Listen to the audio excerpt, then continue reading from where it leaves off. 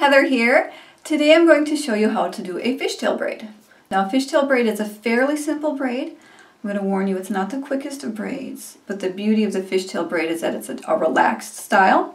So it totally works with going with a little messier look. I'm going to do a side fishtail braid so you can see what I'm doing better so I can see what I'm doing better. So I'm going to start with a little side part to bring some of my hair to the side. You don't have to do that, you can just bring it to the side. And I'm going to do a zigzag part just for a little more flair, I guess. A little zigzag here. Oh, let's do a better zigzag than that. That was a pretty shallow zigzag. Uh, that's a little better. I don't know if you can see that, but I have a zigzag in my hair. Quick little side tangent here. If you want to just take a bobby pin or something, like this pretty one, pull the side back here and go with that throughout the day. Sometimes I'll take this section here and I'll pull that back with a flexi. So a couple little styling ideas there. But now we're going to continue on with the fishtail. So I'm going to bring my hair to the front and I'm going to divide my hair into two sections. So I have a right-handed section, this is my right hand, and a left-handed section. I'm going to take a section from here, a hair from the left-handed section, and move it over to the right.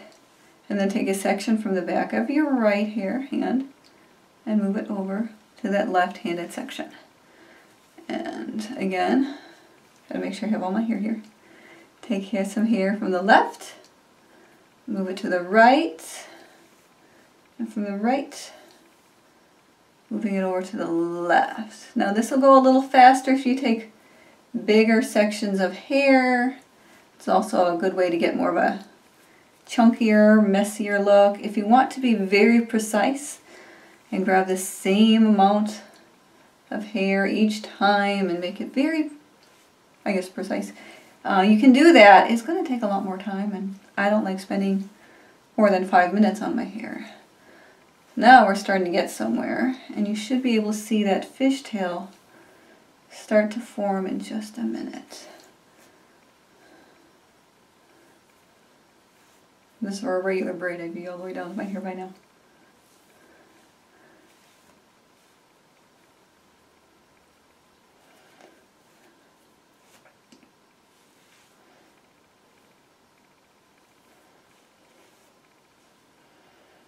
Mm, there we go.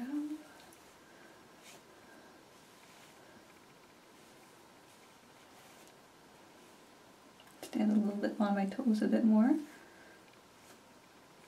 my hair in the camera frame. So again, I'm just taking small sections of hair from the, I guess I'm taking from the back of each section, and then moving it over to the front of each, the opposite section. So from the back left to the front right, and on like that.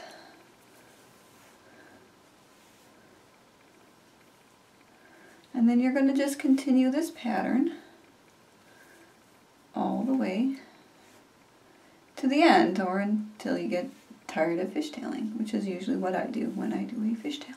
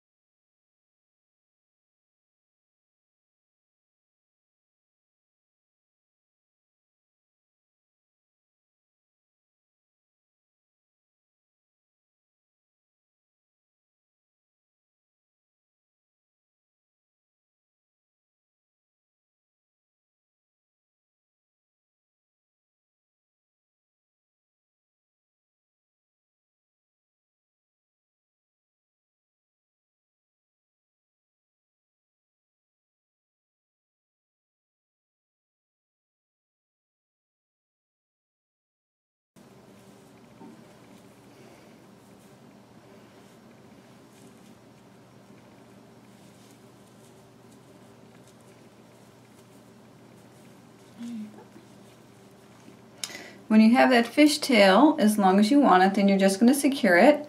I don't like hair elastic, so I'm going to use this flexi clip. This is a mini. I just stick that in there.